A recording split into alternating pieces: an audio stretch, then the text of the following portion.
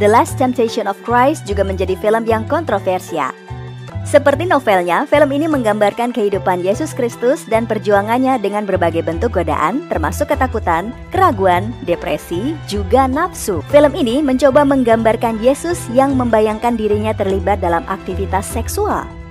Meskipun The Last Temptation of Christ memberikan disclaimer bahwa filmnya tidak dibuat berdasarkan gambaran kehidupan Yesus yang sebenarnya dan tidak didasarkan pada kitab Injil, film ini tentunya tetap menuai kecaman dan kemarahan dari umat Kristen ya guys. Salah satu bentuk kecaman dilontarkan oleh sebuah kelompok Katolik integris yang kemudian membakar bioskop Champs-Élysées di Paris. Tak hanya itu, beberapa perkumpulan umat Kristen juga melakukan demo dan pemboikotan atas film ini.